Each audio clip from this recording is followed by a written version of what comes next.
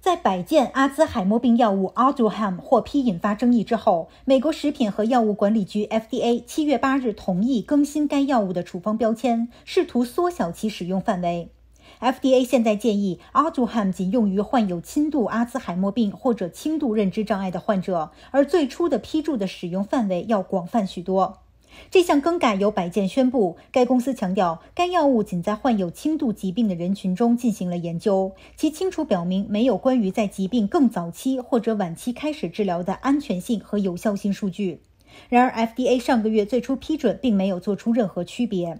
使用范围变窄可以使 Medicare 更便宜地支付这种药物，该药物的标价达到每位患者每年5.6万元。医生和药物定价倡导者批评了药物的高昂价格和广泛的使用范围，称这可能对 Medicare 的支出造成严重破坏，特别是对于一种未经证实存在益处的药物。由于阿兹海默病主要影响有资格享受 Medicare 的老年人，为这种新药买单的将主要是纳税人。在使用范围变窄之后，该公司估计约有一百五十万患有轻度阿兹海默病的人有资格使用该药物。凯撒家庭基金会的一项估计显示，即使只有五十万名享受 Medicare 的阿兹海默病病患开具阿杜汉药物，该医保计划每年也将花费将近两百九十亿元。百健研发主管在一份声明中表示，该公司提交了标签变更，是基于我们与处方医生、FDA 和患者权益倡导者的持续对话，澄清符合条件的患者群体。但是事实上，收窄使用范围的决定是由 FDA 发起的。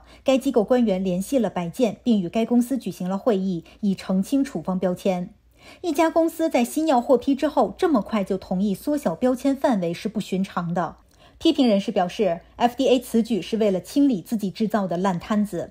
Aduhelm 是近二十年来首个获批的阿兹海默病新药，并且是在 FDA 的专家咨询委员会成员几乎一致反对的情况下获得批准。Aduhelm 不能治愈阿兹海默病，FDA 甚至在没有明确证据表明该药物可以减缓疾病发展的情况下做出决定。然而，尽管 FDA 表示应限制其使用范围，但是似乎也为更广泛的使用该药物敞开了大门。